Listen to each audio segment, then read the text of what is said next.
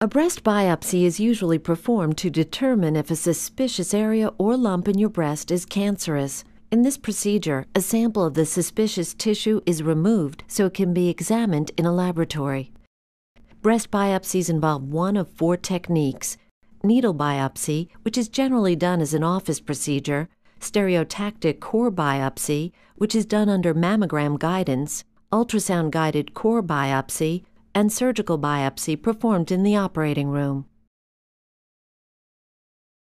If your physician can feel your lump, he or she will often perform a needle biopsy, which may take the form of a cyst aspiration, fine needle aspiration biopsy, or core biopsy.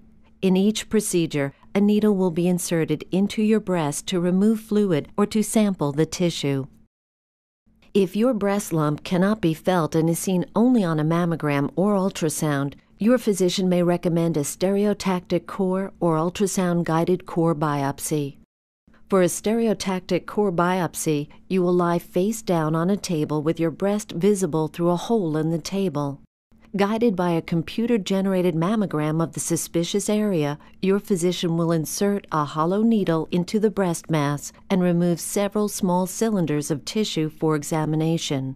Ultrasound guided core biopsies can be performed when your breast mass is detected on ultrasound.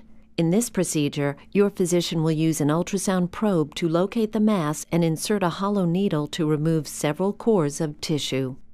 Stereotactic and ultrasound guided core biopsies involve removing a small sample of tissue with a needle. However, if a suspicious area detected by mammogram or ultrasound is not accessible by a core biopsy, or if your physician wants the entire area removed, he or she may recommend a surgical biopsy. Breast surgery is done in an operating room using two techniques needle localization and excisional biopsy.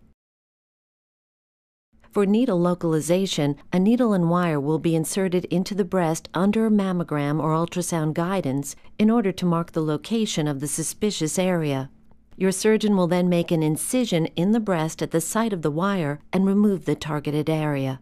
Even if your breast lump can be felt, your physician may recommend removing the entire lump rather than sampling it with a needle. Once again, your surgeon will make an incision in the breast and remove the entire mass. Surgeons will often also remove a small amount of healthy tissue surrounding the mass during these procedures.